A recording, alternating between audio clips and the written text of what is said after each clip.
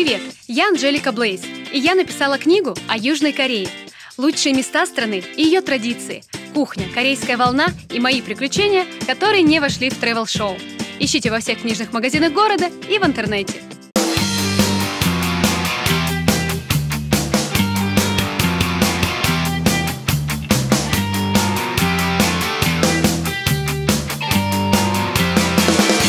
Предыдущем выпуске «Куда уж дальше» я посетила рынок морепродуктов и узнала, какова сырая рыба на вкус. Мы исследовали золотодобывающую шахту Кванмён. Вместе с корейским блогером мы сломали стереотипы о жителях этой страны, а также узнали, что увидеть звезду кей-попа – обычное дело. Главное знать, куда ехать. А путешествием по провинции Канвандо мы завершим исследование материковой части страны. Я расскажу, что за транспорт такой велодрезина и какие блюда уличных торговцев стоит попробовать. Мы полетим на остров Чеджудо и попытаемся выяснить, откуда на нем взялись каменные дедушки. Мы очутимся в месте, где старый ненужный хлам превращается в произведение искусства. А также узнаем, как растут мандарины и так ли они хороши, как их расписывают.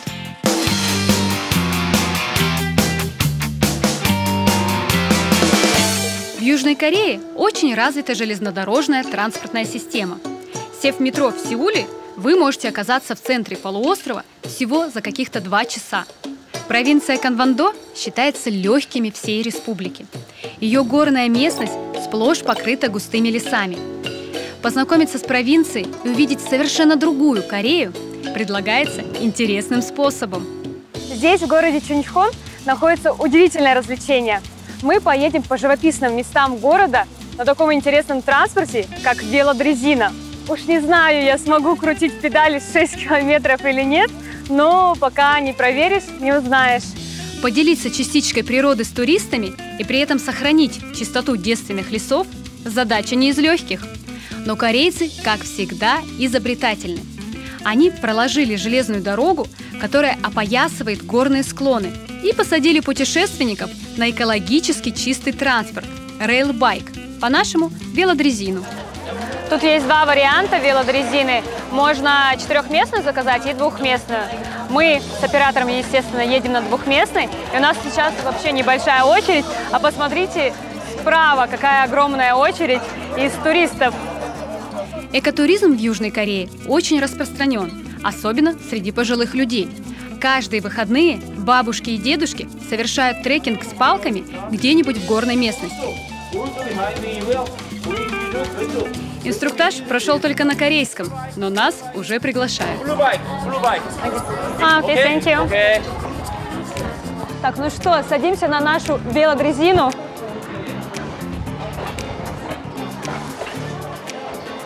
Так, безопасность прежде всего. Не знаю, с какой скоростью будем ехать, но на всякий случай пристегнусь. И вот наша чудо-карета тронулась. Сначала легонько, но потом вдруг начала набирать обороты. Блин, ну я боюсь. Я думала, это как-то помедленнее будет. Что за суперскорость? Свое название дрезина получила по фамилии немецкого изобретателя Карла Дреза, того самого, кто изобрел беговел еще в 19 веке. Велодрезина – это производная велосипеда и тележки. Колеса транспорта перемещаются по рельсам с помощью педалей, которые крутит человек. Мы едем, едем, едем в далекие края, хорошие соседи и верные друзья. А вот это неожиданный поворот. Мы въезжаем в темный, темный тоннель, который внезапно ослепляет нас просто волшебной иллюминацией. Вы это видели? Романтика какая. Конечно, там нужно пары ехать. Такие пузырики, такая атмосфера, такая музыка. Прелесть.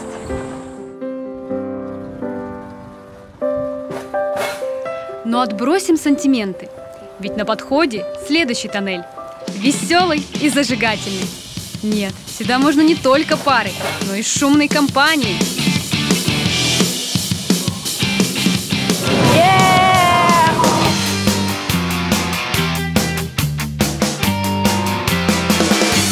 Так, у нас тут перевалочный пункт. Сказали отдохнуть минут 20 и далее пересесть на другой транспорт. Но люди не спешат садиться в поезд, ведь вокруг столько неисследованной красоты. Почему я всегда опаздываю? Поезды по расписанию. Фу, успела. Надо же, только одну меня и ждут. Успела. Вот стоило отлучиться буквально на одну минуту. Смотрю, уже поезд едет, не ждет меня. Сейчас бы пришлось ждать еще целый час вот этого поезда, чтобы добраться до дома. О, можно выдохнуть. Но эти виды, эта музыка. Держите меня семеро.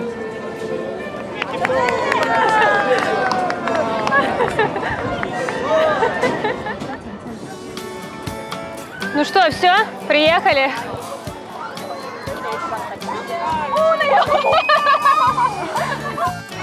Здесь страшная решетка, все боятся идти. Я тоже высоты очень боюсь, поэтому я бочком-бочком, так безопаснее.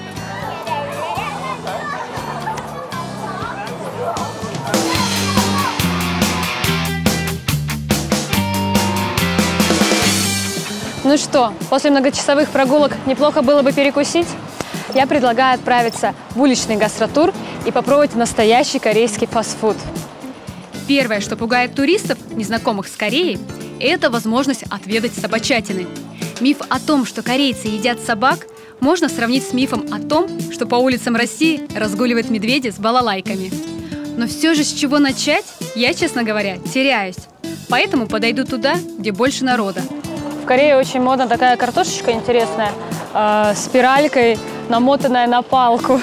Наверное, это чипсы, не знаю, попробую. Лакомство называется картофельная торнадо. Для его приготовления у продавца есть специальное устройство. Одним нажатием кнопки он так изящно нарезает картофелину, что позавидует самый именитый повар. Кстати, тут еще можно выбрать посыпку сыр, лук, э, масло медовое, чили, барбекю. Я выберу сыр. Обмакнув картофель в специальный кляр, уличный продавец еды затем опускает палку во фритюр. Каких-то 30 секунд, и блюдо готово. Спасибо. М. М.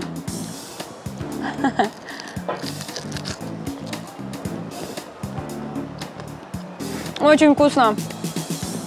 Не как чипсы. Хрустящее. м, Напоминает что-то между картошкой фри, картофелем по-деревенски и между чипсами. Классно. Немного сладкий. И я же сыром посыпала, поэтому такой приятный сырный вкус. Не снимайте, я пойду есть дальше. Ну что ж, сырная картошечка мне очень понравилась.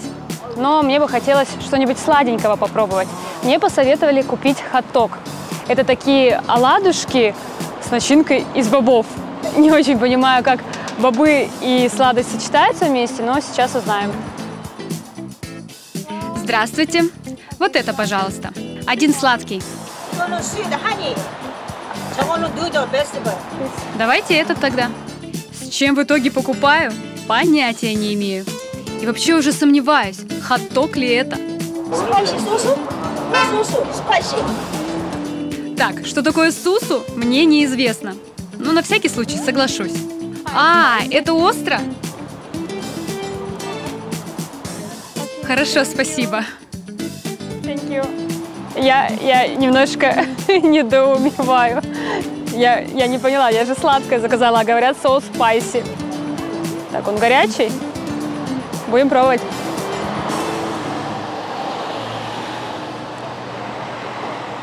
Он не сладкий. Меня обманули. В общем, мы недопоняли друг друга. Я просила сладкий пончик, хот-дог, а мне дали острый и с лапшой, кажется, это стеклянная лапша. Вкусно, конечно. Тесто на пончик похоже, почему я и назвала его пончиком. Но не сладко, а остро.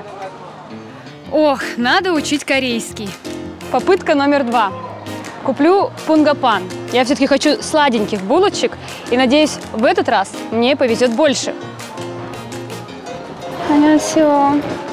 А. Одну, пожалуйста. Фанаты аниме узнают в этих рыбках японское печенье таяки. Да, это лакомство было завезено в Корею во время японской оккупации. Но здесь оно называется пунгапан. Я вообще счастливица. Тут оказывается еще и две рыбки. Не знаю, как на вкус, сейчас попробую.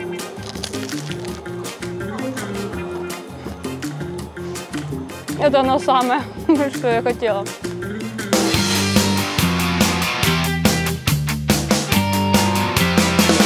Не все путешественники знают, что каких-то 40 минут на самолете отделяет прогрессивный, но пыльный Сеул от чистейшего курортного города Чеджу, что находится на острове Чеджудо. Там отдыхают все местные. Ну что ж, полечу туда и я. Чеджудо – это одно из немногих мест, где можно просто гулять и наслаждаться тем, что сотворила мать природа. Здесь легко забрести в мускатный лес, оказаться в вулканической трубе пещере или отыскать в глубине тропиков невероятной красоты водопады. Чеджудо – самая маленькая провинция Южной Кореи. Здесь всего два города – Чеджу, который я исследую, и Сагвипхо. На острове множество достопримечательностей. Самые известные из них – три водопада Чхонджуйон или водопады Небесного Императора. Река проходит по глубокому ущелью. Тысячи капель, ударяясь об камни, образуют здесь особый микроклимат. Именно поэтому заповедник утопает в буйстве зелени. Легенда гласит, что некогда сами нимфы служили императору. Он позволял нимфам здесь купаться. Многих красавиц сопровождала музыка флейт и сияние звезд. Неудивительно, почему от этого места так веет волшебством. Конечно, реалии куда прозаичнее.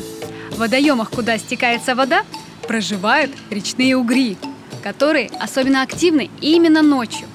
Поэтому купаться тут не рекомендуется. А вот что рекомендовано, так это загадать желание у фонтана «Пять благословений» и посмотреть беседку, напоминающую буддийский храм. Роспись внутри как раз-таки расскажет об императоре и нимфах. А еще здесь открывается невероятно красивый вид на море. Переместимся туда. Если у вас нет американской визы, это еще не повод отказываться от Гавайев. В Корее есть свои корейские Гавайи, и они находятся на острове Чеджудо. Остров славится огромными волнами, шикарными пляжами, чистейшим воздухом и красивейшей природой. Не зря сами корейцы называют Чеджудо жемчужиной страны, а мировые организации признали Чеджудо новым природным чудом света. Примечательно, что остров относится к чистой Азии. Здесь нет ни одного промышленного предприятия, а электричество вырабатывается с помощью ветряных станций и солнечных батарей. М-м, Как же хочется искупаться в этой голубенькой водичке.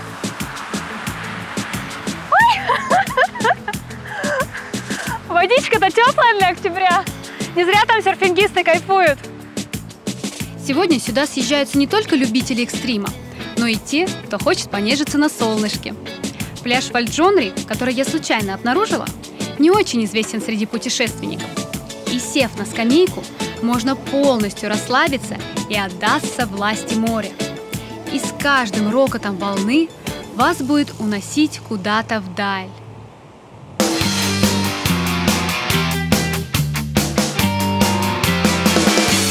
Смотрите далее в «Куда уж дальше». Каково быть фермером? Я отправлюсь на цитрусовую плантацию и узнаю, как растут самые вкусные мандарины острова. А в гигантском экопарке, где вместо деревьев из земли растут камни, мы выясним природу происхождения острова. Я открою завесу тайны стариков из базальта, а также посещу парк, где заброшенные автомобили и старые покрышки возродились в новом облике.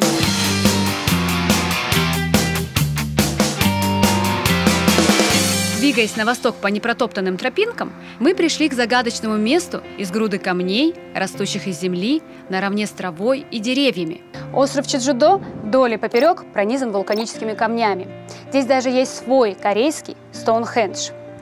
Это такой парк, где царит спокойствие, умиротворение. Здесь так приятно погулять вдали от городского шума. Но, судя по всему, парк камней Чеджу не самое популярное место среди туристов. А зря, ведь экопарк камней Чеджу лучше всего может рассказать о происхождении острова и его сердце – вулкане Халасан. Именно извержению этого вулкана, которое произошло миллионы лет назад, остров обязан своему появлению. Сейчас Халасан считается потухшим, а базальт, из которого состоит весь остров, служит лишь напоминанием о тех неспокойных временах на острове. Такие камни с отверстиями периодически находят на острове. А, как они образовались? Извергался вулкан, лава текла по дереву, ствол дерева, естественно, сгорал, и в итоге образовывались вот такие пустоты. Здесь, среди серебристых колосков мискантуса, разбросаны сотни, тысячи камней причудливой формы. А самые необычные изваяния природы поместили в музей, который находится здесь же, на территории парка. Его наружные стены и пол имитируют цвета и текстуры покрытия острова Чеджудо. Сам же музей выполнен из базальтового бетона и вулканического пепла. А на крыше музея расположен водоем как напоминание о легенде острова бабушки Салмунде, которая была первым жителем Чеджудо. Это она одним взмахом лопаты создала целый вулкан. В тяжелые же времена, спасая от голодной смерти своих сыновей, богиня бросилась в кипящий котел с супом, который дети съели, не подозревая ни о чем. Лес из камней, собранных со всего острова, завораживает. Но когда вы увидите камни с человеческими лицами, вы лишитесь дара речи. Тальхарубаны – это визитная карточка Чиджидо. Каменных дедушек из вулканического базальта можно повсюду встретить на острове. Некоторые из них стоят здесь в древности и чем-то напоминают статуи Муаи на острове Пасхи. Говорят, что Тальхарубаны являются стражниками острова и защищают Чеджудо. Но некоторые из них даже исполняют желания. Нужно лишь потереть им нос. Кто автор этих скульптур, неизвестно, равно как и их точный возраст. Одни говорят, что статую завезли с моря путешественники. Другие считают, что каменных дедушек строили местные шаманы, которые поклонялись грибам. А недавно ученые обнаружили похожую статую в Китае и теперь вообще сомневаются в предыдущих исследованиях. Вы только посмотрите, какая детализация. Вот этот, например, кажется, видел некоторые нехорошие вещи. Вот этот супер хмурый, серьезный, а вот этот на позитиве. Такой славный мужичок. Ой, а у этого прихватило животик. Разглядывать причудливые изваяния природы и человека можно часами. Да только грянул такой сильный дождь, что на некоторое время я засомневалась, на тропическом ли мы острове.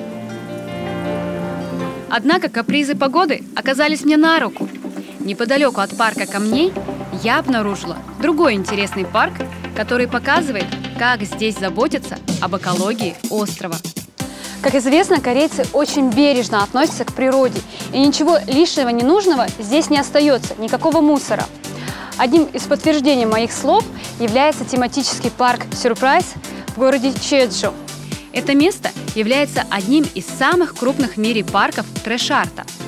Здесь представлены свыше 300 произведений искусства, выполненных именитыми художниками и скульпторами из разного рода хлама.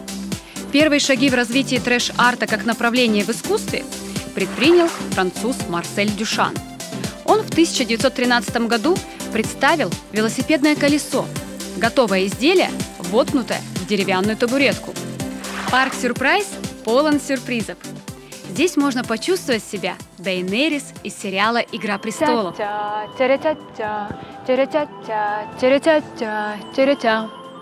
Можно прогуляться рядом с семиметровыми динозаврами и даже увидеть знаменитый тысячелетний сокол, на котором летал Хан Соло в кинофильме «Звездные войны». А вы помните Чубаку? Я помню. R2-D2, C-3PO, Здравствуйте, магистр Йода. Цель тематического парка не просто показать, как важно сохранить в чистоте окружающую среду. Главное – донести способы решения этого вопроса. Так, трансформация ненужных вещей во что-то новое – один из лучших путей для экологии Чеджудо и страны в целом. Я хоть и не поклонник трансформеров, но меня поражает такая тонкая работа, все так качественно прорисовано, вырезано, покрашено, прям супер. Конечно, корейские мастера молодцы, но они не единственные в своем роде. В выпуске «Куда уж дальше» из Туниса я показывала дом-музей дядюшки Таеба, который также изобретает настоящие шедевры современного искусства из обычных гаек, шестеренок, свечей зажигания и других предметов, отживших свой срок. Парк «Сюрприз» также предлагает заглянуть и в крытый выставочный зал – Здесь находится интерактивная зона, демонстрирующая последние достижения корейцев в игровой индустрии. Сейчас я буду железным человеком. Видеоигра захватывает все ваши движения. И вот вы уже в игре сражаетесь с приспешниками Альтрона как самый настоящий супергерой. Но если подобные игры мне уже знакомы, то следующий зал меня удивил. Его стены и пол представляют собой водоем. При этом видеокартинка на полу реагирует на нажатие, и с каждым прыжком на бутон распускается прекрасная кувшинка. Такой парк интересный, я прям впала в детство. А как тут не впадешь? Когда я была маленькая, таких чудесных разработок еще не было. Взять хотя бы это. Песок, видеопроекция и сенсорное изображение, реагирующее на нажатие. Это вообще как? Я сегодня творец земли. Хочешь, острова создавай или вулкан. Можешь даже цветами его засыпать. Чудеса, да и только.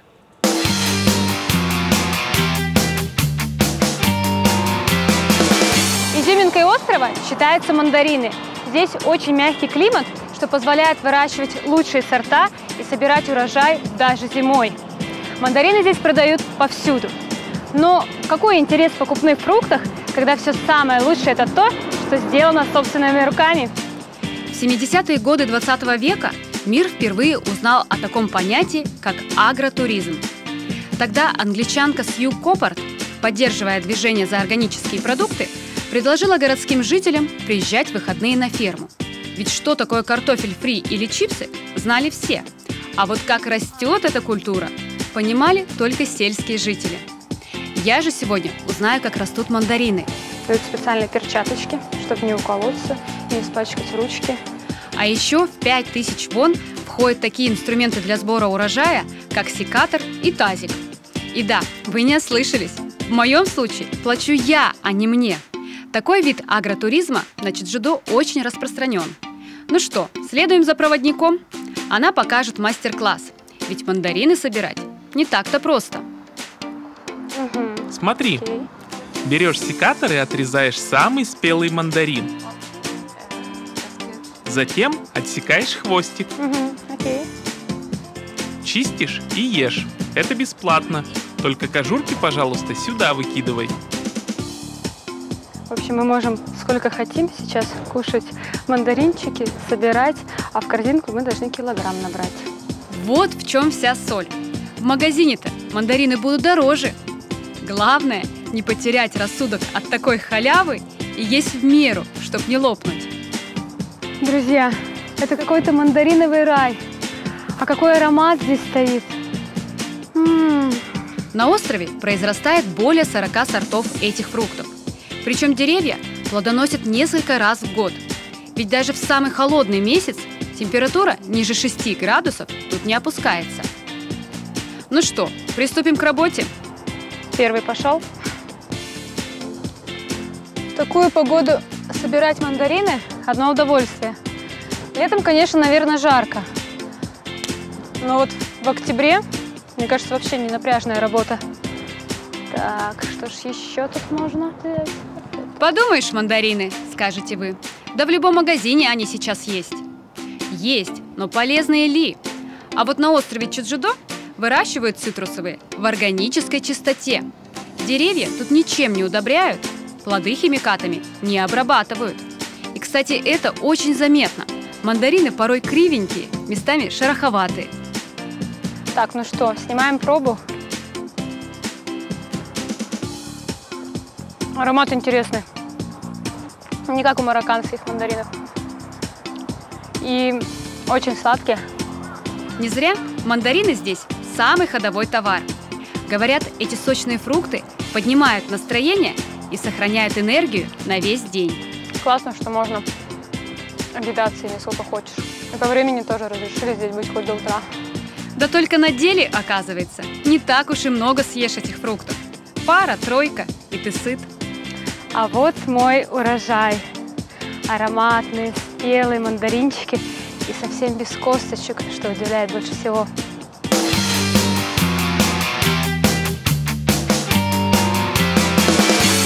На этом мы завершаем путешествие по стране утренней свежести. Корея раскрыла себя как высокотехнологичную страну, где, однако, любят не только работать. Залы игровых автоматов, интерактивные зоны и видеоигры. А для любителей поесть здесь найдется еда на любой вкус, от сочного мяса на углях до свежайшей рыбки. Мы познакомились с природными богатствами страны, узнали об органических продуктах, выращиваемых на ее землях, а также изучили нелегкий путь корейского народа к становлению свободной нации. Южная Корея поделилась с нами частью своей культуры, местами детской и забавной, но такой аутентичной и интересной. О какой стране пойдет речь далее, узнаем в следующем выпуске «Куда уж дальше». Друзья, до новых путешествий!